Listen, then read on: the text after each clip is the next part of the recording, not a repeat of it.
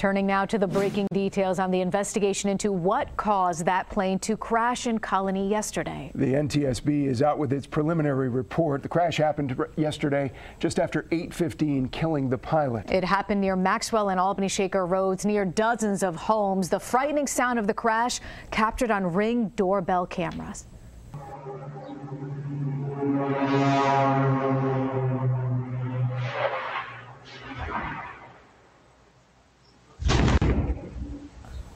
Frightening sound. The audio and video recordings provided by so many people in that area. That's all now part of this investigation. We have team coverage once again today with the new details we learned this afternoon. Dan Levy joins us live from Colonie. Dan, good evening to you.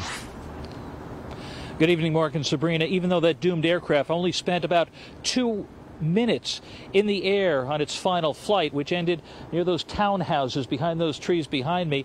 The National Transportation Safety Board says it might take up to two full years before they publish their final report on this air disaster. But from the looks of things, they're off to a good start.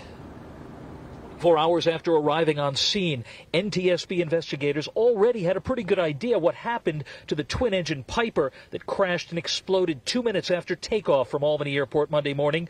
It was two minutes that covered a little more than one and a half miles of airtime, during which the crippled aircraft had difficulty gaining altitude.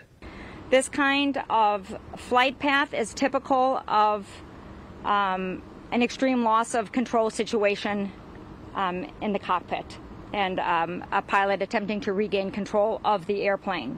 While on the scene, investigators will be looking at video footage, impact scars, and any other evidence they find. The NTSB also reports tremendous cooperation from numerous eyewitnesses on the ground. All of this is going to help us significantly in this investigation, and NTSB is very grateful for this community's outpouring of information to this investigation.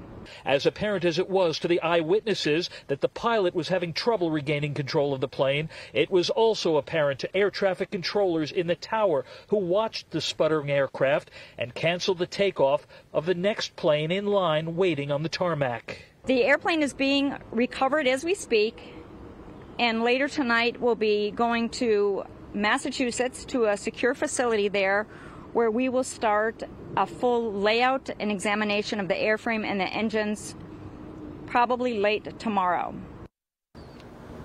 And so clearly there is much work left to be done. Those investigators still at the scene last time we checked. And if you're wondering about the roads, Maxwell Road and others in the area when they might reopen, the police chief says probably sometime tomorrow. We're live in Colonie with coverage you can trust. Dan Levy, News Channel 13. Mark, Sabrina, back to you. Dan with the latest for us tonight.